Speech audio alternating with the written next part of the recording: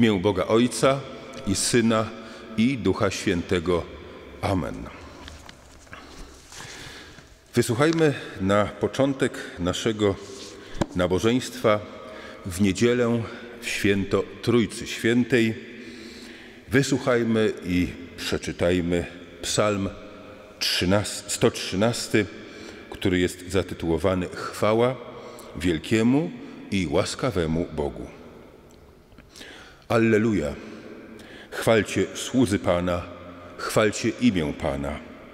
Niech imię Pana będzie błogosławione teraz i na wieki. Od wschodu słońca aż do zachodu niech będzie wysławiane imię Pana. Pan jest wywyższony nad wszystkie narody, Jego chwała sięga nad niebiosa. Kto jest podobny do Pana, naszego Boga, który mieszka na wysokościach, który się pochyla, by patrzeć na niebiosa i ziemię? On podnosi nędzarza z prochu, z gnoju dźwiga ubogiego, aby posadzić go pośród książąt, pośród książąt swojego ludu. Pozwala mieszkać bezpłodnej w domu, jako matce cieszącej się dziećmi. Alleluja. Chwała niechaj będzie Ojcu i Synowi i Duchowi Świętemu. Amen.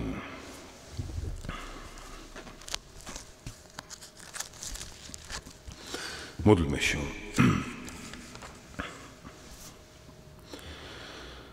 Boże nasz i Ojcze, przeznaczyłeś nas na to, abyśmy dookoła siebie czynili dobro. Dałeś nam oczy, abyśmy dostrzegali ludzkie potrzeby, dałeś nam uszy, abyśmy słyszeli ich wołanie, dałeś nam serca, abyśmy byli wrażliwi na ludzką niedolę. Tymczasem my odwracamy oczy, zatykamy uszy, zamykamy serca, ale usta mamy pełne świątobliwych słów. Zwracamy się do Ciebie z pobożnymi gestami. Mamy poczucie naszych win i grzechów. Dlatego teraz, Panie, prosimy Cię, Boże, wybacz nam.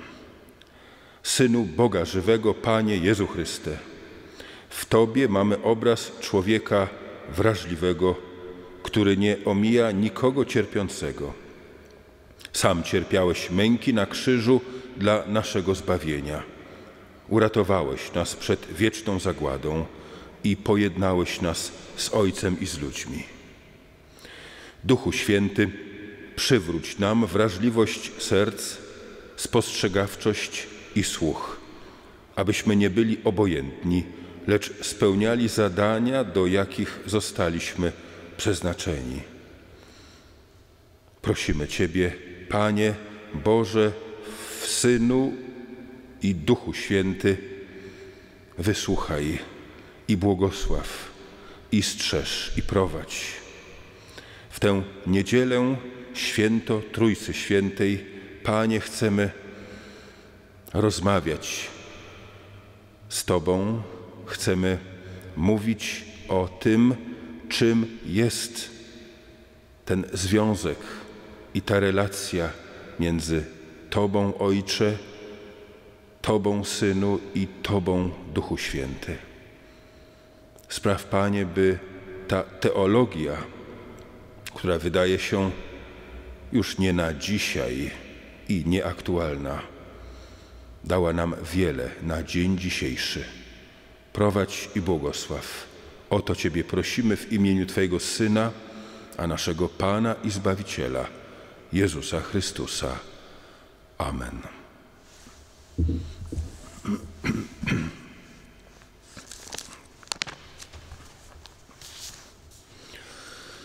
Wysłuchajmy fragmentu lekcji Starego Testamentu. Dokładnie fragmentu czwartej Księgi Mojżeszowej, rozdział szósty, wiersze od 22 do 27. Pan przemówił do Mojżesza: Powiedz Aaronowi i jego synom: Tak oto macie błogosławić Izraelitom. Powiecie im tak: Niech Pan cię błogosławi i strzeże. Niech Pan rozpromieni nad Tobą swoje oblicze i niech Ci okaże miłosierdzie. Niech Pan zwróci ku Tobie swoje oblicze i niech Cię obdarzy pokojem.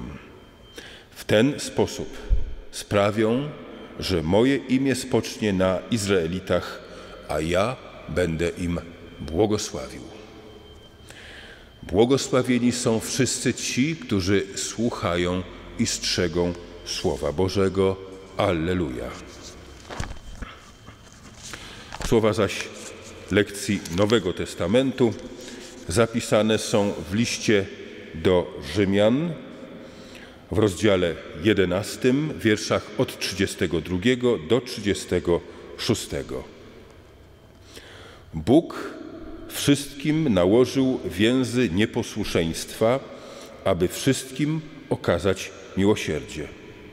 O głębokości bogactwa, mądrości i poznania Boga, jak niezbadane są Jego sądy i niepoznawalne Jego drogi. Kto bowiem poznał sposób myślenia Pana, albo kto był Jego doradcą, lub kto pierwszy Go obdarował, aby otrzymać zapłatę.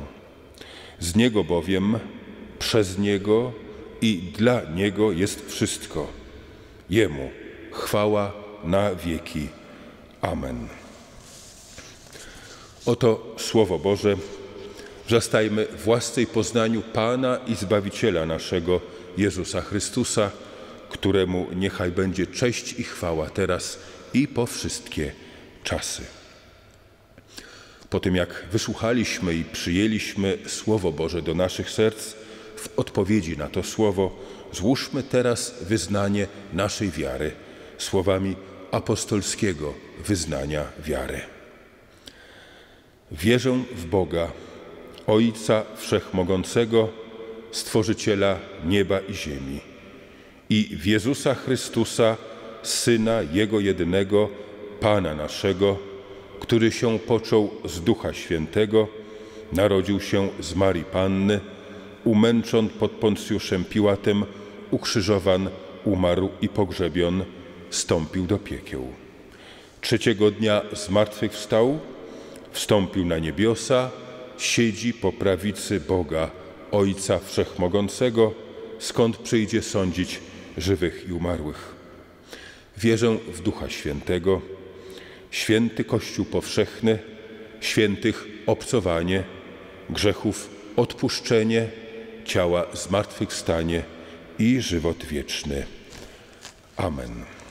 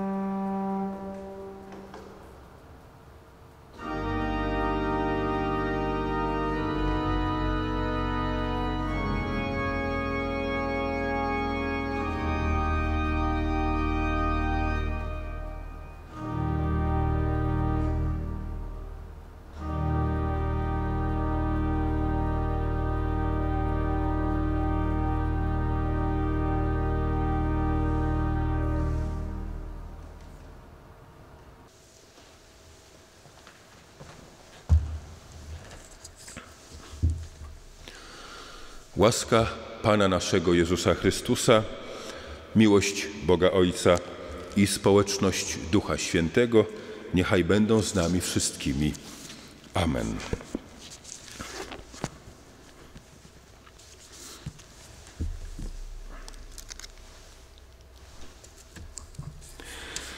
Wysłuchajmy fragmentu Ewangelii Jana, rozdział 14, wiersze od 15 do 19. Jezus powiedział: Jeśli mnie miłujecie, będziecie zachowywać moje przykazania, a ja poproszę Ojca i da wam innego orędownika, aby był z wami na wieki. Ducha prawdy, którego świat przyjąć nie może, ponieważ go nie widzi i nie zna. Wy go znacie, bo przebywa z wami i w was będzie.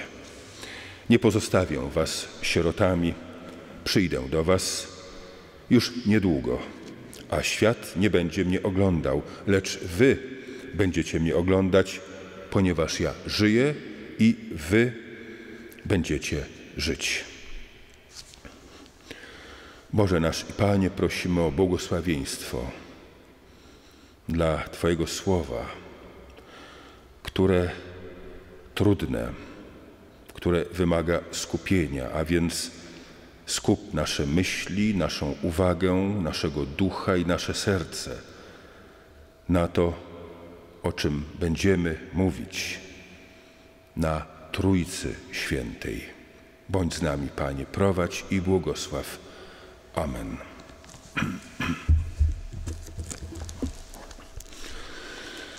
Moi drodzy, tak jak w modlitwie, faktycznie dzisiejszy tekst może nie będzie zbyt łatwy. Też nie będzie, jak zawsze, tak krótki.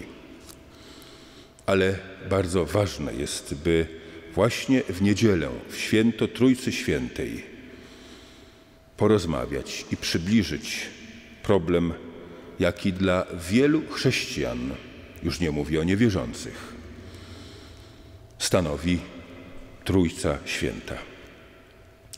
Dzisiejszą niedzielą obchodzimy święto Trójcy Świętej.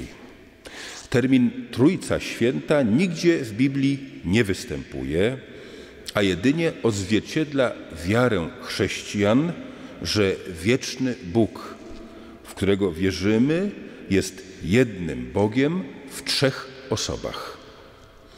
Jednak, tak jak to widać w dzisiejszym naszym tekście, często występują obok siebie Ojciec, Syn i Duch. Skąd więc nazwa Trójca? Otóż pierwsi chrześcijanie wyznawali Boga, który objawił się narodowi wybranemu Izraelowi, a na znak wybrania zawarł z nimi przymierze. To ten Bóg wyprowadził potem swój lud z Egiptu, z ziemi niewoli, do tego samego Boga modlił się Jezus. Lecz ci chrześcijanie również wierzyli, że w osobie Jezusa z Nazaretu doświadczyli spotkania z Bogiem, którego czcili Żydzi. Stąd wyznanie pierwszego Kościoła, że Jezus Chrystus jest również Bogiem.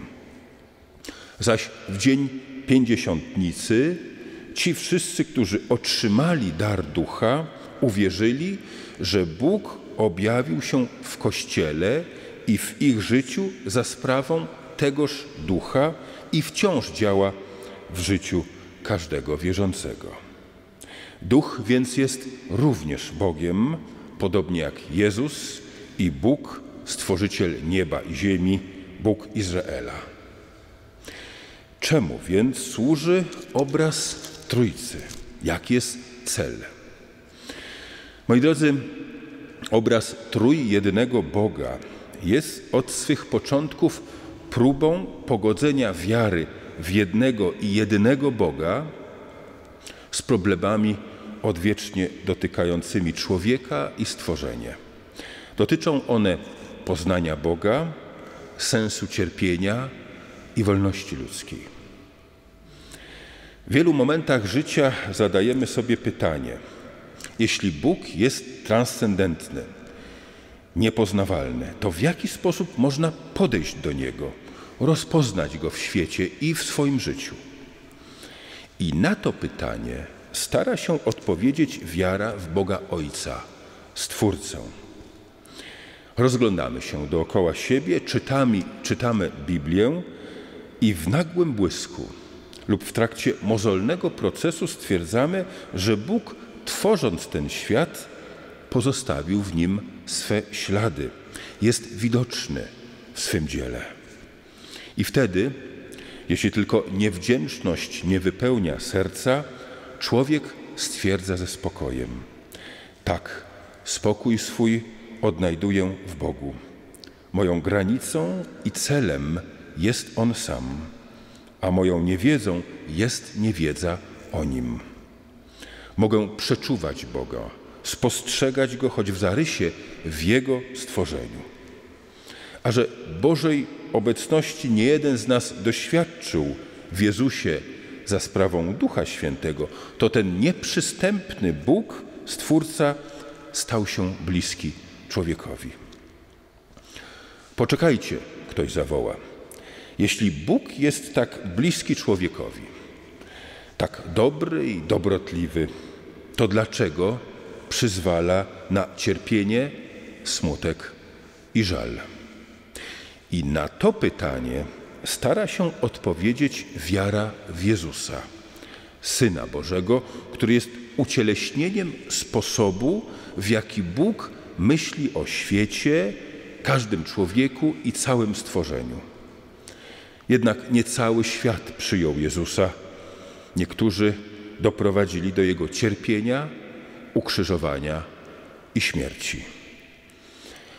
Rozmawiałem z cierpiącymi ludźmi wiary i większość z nich stwierdziła, że łatwiej mogli znieść cierpienie, jeżeli wiedzieli, że i Bóg wie, co to cierpienie.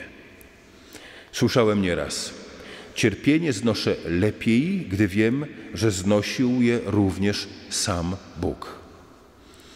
Człowiek wtedy wie, że nie zostaje w cierpieniu sam, bowiem Bóg nie opuścił go w tym stanie, choć z drugiej strony nierzadko w swej rozpaczy człowiek czuje się opuszczony przez Boga. A przecież Bóg sam wołał Boże mój, Boże mój, czemu mnie opuściłeś? W ukrzyżowanym Bóg staje po stronie człowieka, a w zmartwychwstałym podnosi człowieka ku sobie tam, gdzie już nie ma cierpienia. Pytanie może zabrzmieć dobrze, a co z wolnością człowieka? Jeśli Bóg tak wszystko pięknie planuje, to gdzie i kiedy jest miejsce na wolność ludzką? Przecież w obliczu Bożej Wszechmocy ludzka wola i wolność staje się niczym. I na ten problem próbuje odpowiedzieć wiara w Ducha Świętego. Duch Wszechmogącego mieszka w każdym stworzeniu, w każdym człowieku i udziela mu swej mocy. Objawia się ona w nieoczekiwanych miejscach i momentach, najczęściej ku zaskoczeniu samego obdarowanego duchem. Tym samym działa w człowieku, lecz nie jako obca siła bez pardonu i gwałtem odbierająca człowiekowi wolę i inicjatywę, ale przeciwnie, zjednoczona z siłą i wolą ludzką. Dochodzi wtedy do spontanicznego, a nie wymuszanego wypełniania Bożej woli, a człowiek w tej odpowiedzi czuje się wolny i czuje się sobą.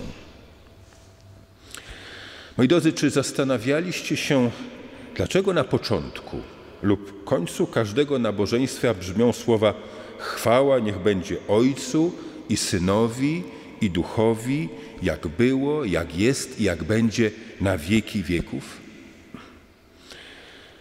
Marcin Luther napisał, że każde nabożeństwo to ćwiczenie się we wdzięczności.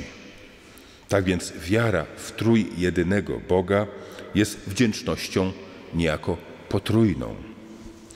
Wiara w Boga Ojca, Stworzyciela, objawia się wdzięcznością za ten stworzony świat.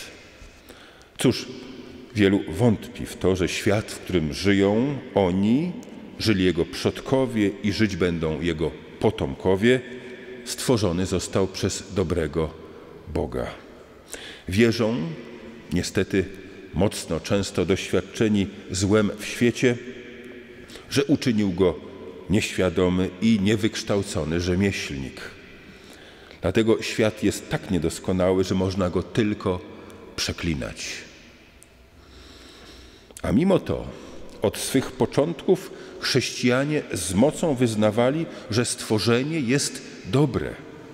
Jest Bożym dziełem, które jeśli się rozwija, to tylko ku dobremu, nawet jeśli teraz w swej niedoskonałości oczekuje zbawienia.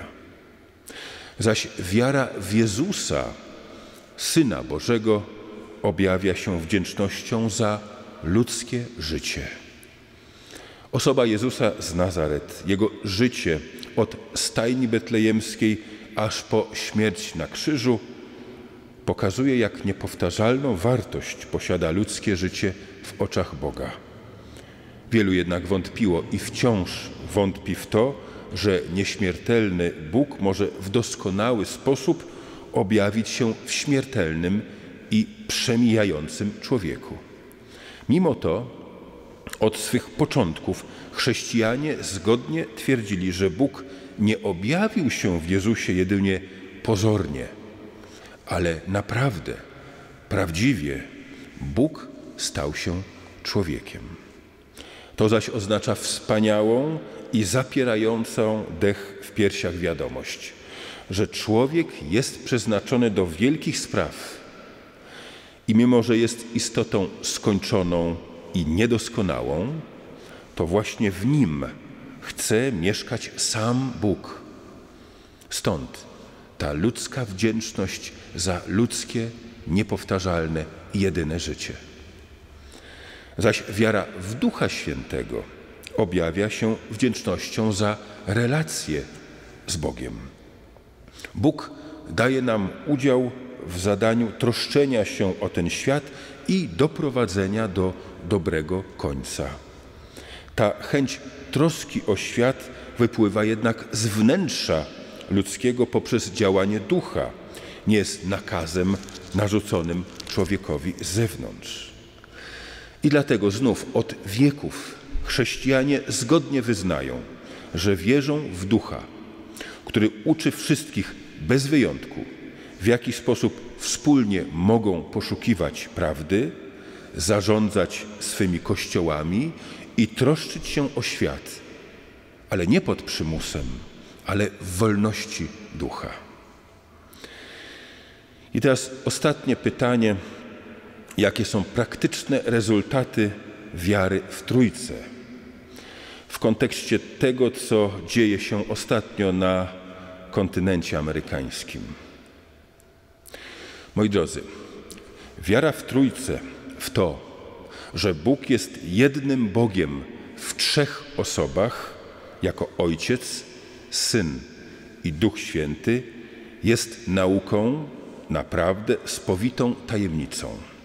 Niejednemu z nas dzisiaj, współcześnie, może się wydawać, że daleka jest od naszej codzienności i nie ma wielkiego z nią związku. Lecz, moi drodzy, jest to podstawowa doktryna i nieliczna, którą dzielą wszyscy chrześcijanie bez wyjątku. Wiara w Trójcę również prowadzi do bardzo praktycznych wniosków. Jakież one są? Po pierwsze, Trójca jest związana ze sferą społecznych relacji, stosunków. Dziwne, prawda? Otóż Kościół wierzy, że wszystkie trzy osoby Trójcy są jednym Bogiem i że są one sobie równe w swej mocy i chwale. Jednym z poglądów odrzuconych przez, przez, przez wczesny Kościół był subordynacjonizm, zgodnie z którym Jezus, Syn, był podległy Bogu, Ojcu, a to oznacza, że mniej znaczy niż Ojciec jest od Niego w jakimś sensie gorszy. W opozycji do tego poglądu wczesny Kościół poświadczał w swych wyznaniach, że wszystkie trzy osoby Trójcy dzielą boskość porówno. Są tej samej substancji, co po grecku oznacza homoousios. Jeśli więc tak jest, jeśli te trzy osoby Trójcy istnieją i działają w boskiej równości, to możemy przyjąć, iż jest to wzór, według którego Bóg chce, byśmy rządzili się w społeczeństwie. Uznajemy więc wszystkie osoby za równe sobie, bez hierarchicznego nastawienia, które postrzega jednych jako lepszych, a innych gorszych, jednych ważniejszych, innych mniej ważnych. Tak więc wszelki rasizm, seksizm, nazizm i inne szkodliwe stereotypy są przeciwne modelowi przedstawionemu w Trójcy. Wszelkie inne zachowania są hipokryzją i brakiem niewiary, zwłaszcza jeżeli ktoś mówi coś zupełnie przeciwnego, trzymając Biblię w ręku. Po drugie, Trójca ukazuje nam, że nasze życie powinno przebiegać w bliskiej relacji do innych i z innymi. Moi drodzy, mówimy o trzech osobach Trójcy.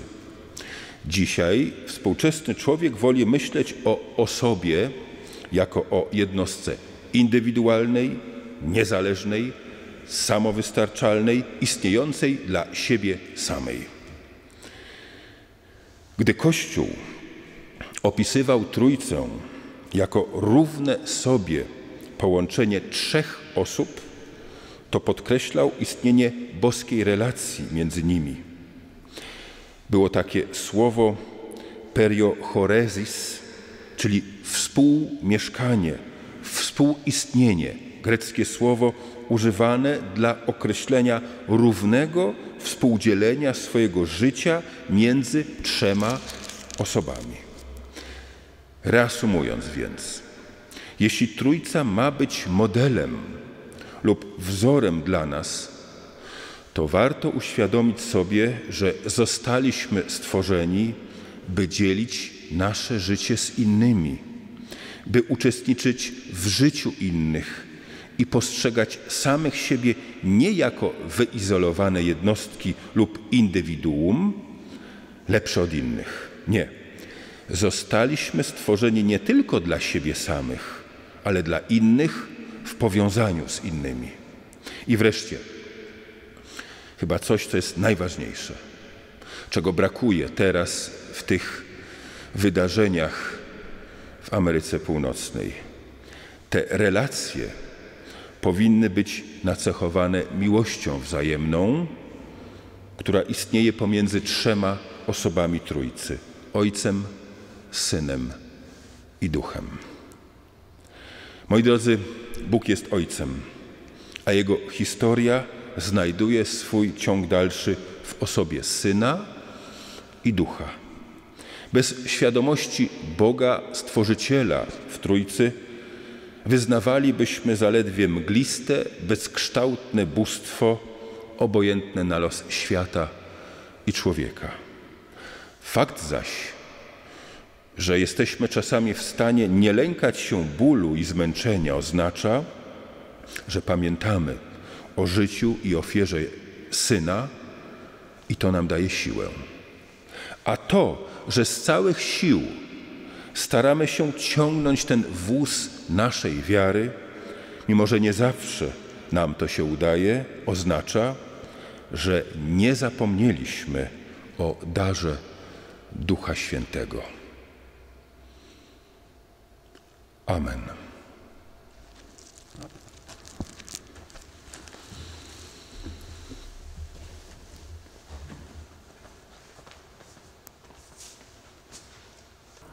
Música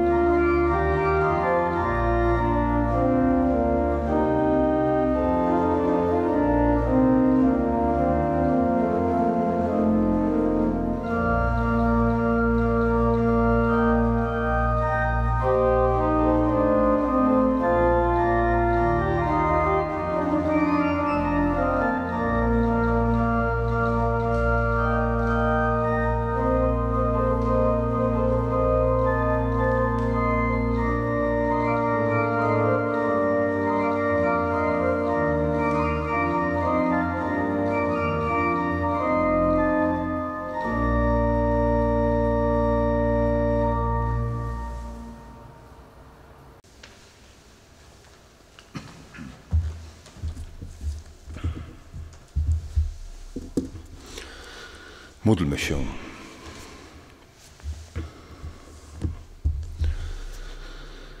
Boże nasz, Ojcze nasz, Synu i Duchu Święty. Panie, stanowisz dla nas wzór. Jak żyć, jak istnieć, na jakich zasadach traktować tych, którzy są z nami, którzy są naszymi braćmi i siostrami. W relacji Syna z Ojcem i Duchem Świętym nie ma rywalizacji, nie ma hierarchizacji, nie ma pragnienia bycia lepszym, bycia większym, bycia silniejszym, posiadania jedynej i zbawczej racji. Każdy z Was, syn, ojciec i duch, jesteście na równi w swoich zadaniach,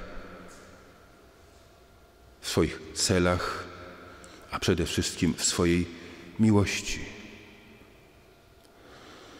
Dziękujemy Tobie, Panie, że choć raz w roku możemy mówić, możemy zastanawiać się nad tym starym dogmatem, starą nauką naszych mądrych braci i sióstr, dogmatem o Trójcy Świętej, nauką o Trójcy Świętej. Panie nasz, pozwól, byśmy i my traktowali innych porówni, bez jakichkolwiek preferencji z jednej strony i bez nienawiści czy antypatii z drugiej. Spraw, Panie, byśmy tak jak Wy traktujecie się nawzajem, byśmy traktowali innych. Prosimy Ciebie, Panie, o to, by prawda o Twojej miłości, o Twoim pojednaniu, o tym, że Ty, Boże, uczestniczysz aktywnie w życiu każdego ze swoich dzieci, żeby ta prawda była wciąż żywa i mieszkała w sercach wszystkich polityków, ludzi o wszelkich kolorach skóry, ludzi wszelkiej rasy, wszelkiej, wszelkiej religii czy niereligijnych. Prosimy Ciebie, Panie, by szacunek, spokój, słuchanie wzajemne, staranie zrozumieć się nawzajem, żeby to wszystko dominowało w relacjach z bliźnimi, z siostrami, braćmi, bez względu na kraj, pochodzenie, rasę, kolor skóry, religię.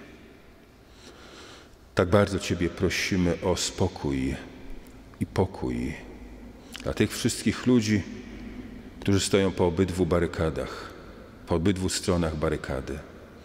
Dla tych, którzy czują się ofiarami, dla tych, którzy bardzo pewni swoich prawd traktują inne osoby gorzej. Stań, Panie, po stronie tych, którzy się boją, którzy nie wiedzą, dlaczego spotyka ich to. Stań, Panie, po stronie tych, którzy źle traktują innych, ale nie po to, byś im przyznawał rację, ale byś zmieniał ich serca. Bo żaden polityk, żaden kościół, żaden system nie jest w stanie zmienić serca pojedynczego człowieka, tylko Ty. Ty, Boże Ojcze, Synu i Duchu Święty. Dlatego prosimy Ciebie, Panie, bądź ze wszystkimi tymi, którzy cierpią z powodu nienawiści, która na nich spada i cierpią z powodu nienawiści, która z nich wypływa. Prosimy Ciebie, Panie, też o naszych braci i siostry, którzy zmęczeni tą kwarantanną, tą, tym wirusem, tym wszystkim, co teraz przeżywają, lękiem o pracę, lękiem o wszystko to, co dla nich było ważne, żeby ci ludzie, nasi bracia, nasze siostry, znaleźli pokój spokój. Nie wiemy jak, nie wiemy kiedy i nie wiemy w jaki sposób, ale wierzymy, mocno wierzymy, że Duch Twój, Duch prawdy, pokoju i wolności ma dostęp do ich serc i dusz i rozumów. A tym, Panie, którzy mimo wszystko są spokojni, którzy odczuwają radość, szczęście, którzy odczuwają miłość do drugiej osoby i sami są kochani, tym im, Panie, daj siłę, by tę miłość przekazywali innym. Wysłuchaj nas, Panie, gdy wszyscy wspólnie do Ciebie wołamy. Ojcze nasz, któryś jest w niebiesiech, święć się imię Twoje, przyjdź królestwo Twoje. Bądź wola Twoja jako w niebie, tak i na ziemi. Chleba naszego powszedniego daj nam dzisiaj i odpuść nam nasze winy, jako i my odpuszczamy naszym winowajcom. I nie dopuść, abyśmy ulegli pokusie, ale nas zbaw ode złego. Albowiem Twoje jest królestwo, moc i chwała na wieki wieków. Amen. Niech Ci błogosławi Pan i niechaj Cię strzeże. Niech rozjaśni Pan oblicze swoje nad Tobą i niech Ci miłości będzie. Niech obróci Pan twarz swoją ku Tobie i da swój pokój. Amen.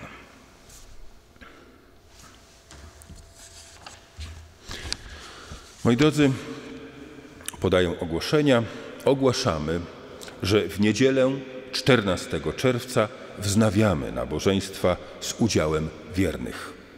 Spotykamy się więc w naszym kościele w niedzielę 14 czerwca o godzinie 10.30. Nabożeństwo poprowadzi ksiądz Michał Jabłoński. Nabożeństwo oczywiście przebiegnie z zachowaniem wszelkich środków ostrożności. My liczymy na odpowiedzialność i dojrzałość wszystkich uczestników nabożeństwa. Nabożeństwo to, jak wszystkie kolejne, będzie transmitowane internetowo.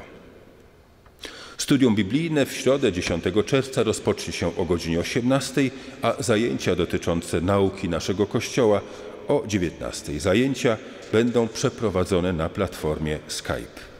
Zajęcia dla grupy przedkonfirmacyjnej odbędą się w czwartek 11 czerwca o godzinie 14 na platformie Skype. I tak jak zawsze serdecznie dziękujemy za wszystkie wpłaty, kolekty i ofiary wpływające na konto naszej parafii. To wyraz odpowiedzialności, łączności ze zborem i miłości do naszego Kościoła.